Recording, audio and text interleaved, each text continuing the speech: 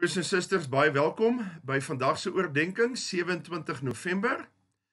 God die Almagtige bewaar my. As basis vandag die institusie van Calvin boek 2 hoofstuk 2 paragraaf 31. Uit die Bybel gaan ons lees Psalm 119 vanaf vers 145. Ek roep na U met my hele hart. Verhoor tog my gebed, Here. Ek wil U voorskrifte nakom. Ek roep na U, red my. Ek wil U verordeninge gehoorsaam. In die oggendskemer al roep ek om hulp en stel ek my vertroue in U woord. Die hele nag lê ek wakker en oorpyns ek U woord. Handel volgens u liefde, Here. Luister tog na my. Laat u bepalinge geld. Hou my in die lewe. Die wat my met soveel lus vervolg, kom steeds nader. Maar van u wet af bly hulle ver. U is by my, Here. Alles wat u gebied het, staan vas. Van lankal af weet ek van u verordeninge dat u hulle altyd vas laat staan. En let op in die ou vertaling u getuienisse, die getuienis wat die Here gee. Deur Paulus praat die Heilige Gees met Timoteus as hy herinner word aan die geloofsopvoeding wat hy alreeds vanaf sy kinderdae gekry het.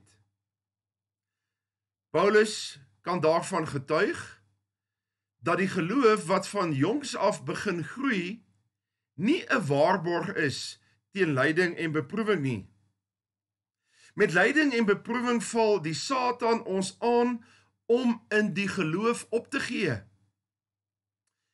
Hierin kan Paulus bely dit skrik my nie af nie want ek weet op wie ek vertrou En ek is daarvan oortuig dat hy dat God magtig is om wat hy aan my toevertrou het tot op die dag dat hy weer kom in stand te hou. 2 Timoteus 1 vers 12. In Psalm 119 laat die Heilige Gees die psalmdigter getuig van sy vertroue in God se woord.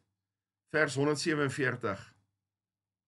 Die oortuiging wat Paulus het en die vertroue van die psalmdigter spreek van geloof gebou op God se woord.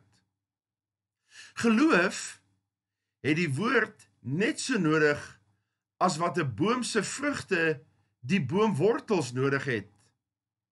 Geen mens kan hom op God beroep as hy God nie ken nie. Psalm 9 vers 11. Kennis van God groei nie uit jou verbeelding nie, maar uit die getuienis wat God self in sy woord gee. Daarvan praat die psalmdigter in Psalm 119 vers 41. Red my volgens u belofte. Hierin moet ons oplet na die verhouding van die woord tot die geloof. Die woord spreek van God se mag wat die geloof staande hou. Sonder hierdie kennis sal dit nooit aan God die eer gee nie. In Romeine 4 vers 21 noem Paulus iets wat besmoontlik heel gewoon van Abraham mag klink. Abraham was ook ten volle daarvan oortuig dat God mag het om te doen wat hy beloof het.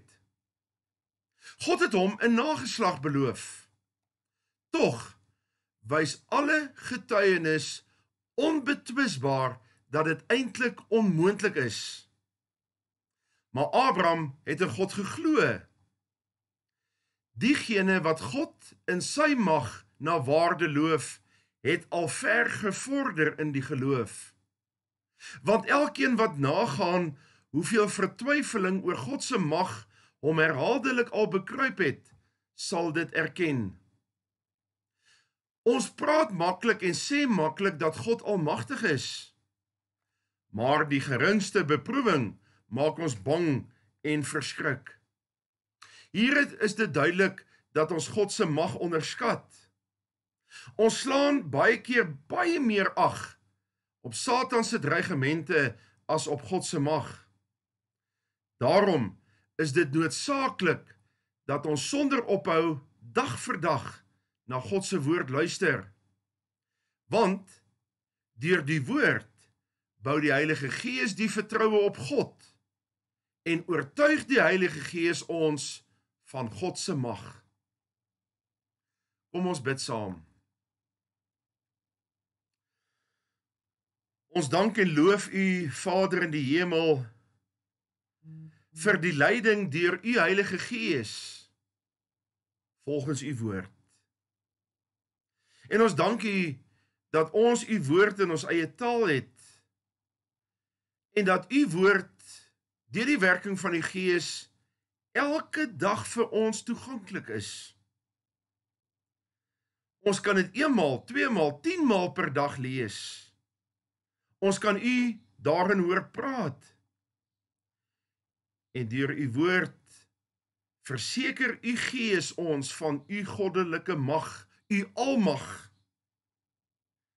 Terwyl terwyl die Satan ons wil oortuig van die werklikheid waarin ons leef, van dit wat eg menslik is en uit die werklikheid van die dag van die wêreld en uit die menslike ons wil oortuig van onbetwisbaar is dit onmoontlik.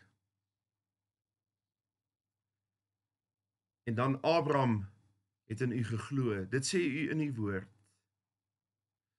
En u het sy geloof vir hom tot geregtigheid gereken. Want as u spreek in u woord is u reeds besig om te werk. Toe hy aan Abraham die belofte woord gegee het, toe was hy reeds in aksie. Ja, volgens u tydskedule. Want dit sou 'n jaar later wees. Aanvanklik toe hy die belofte gee het 25 jaar later. En toe hy dit uiteindelik weer en weer bevestig nog 'n jaar later. Maar in die geloof het Abraham u getrou geag wat dit beloof. En so mag ons uit u woord deur u gees oortuig word dat u betroubaar is. Mag ons oortuig word van u goddelike mag. Die mag wat ons altyd deur bewaar. Bewaar ons dan ook in hierdie naweek wat voorlê.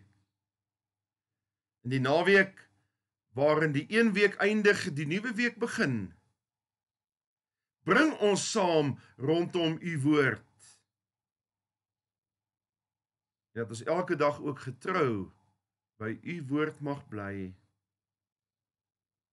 Wanneer ons dan in vertwyfeling kom, dan is daar Here nie werklik 'n regverdiging daarvoor nie. Maar bely ons dat ons soveel kere te min met u woord besig is. As ons pleit om vergifnis, pleit ons daarmee ook om verandering sodat ons elke dag u sal hoor en deur u te hoor oortuig word van u mag. Hoor ons om Christus ontwil. Amen. 'n Geseënde naweek vir u almal.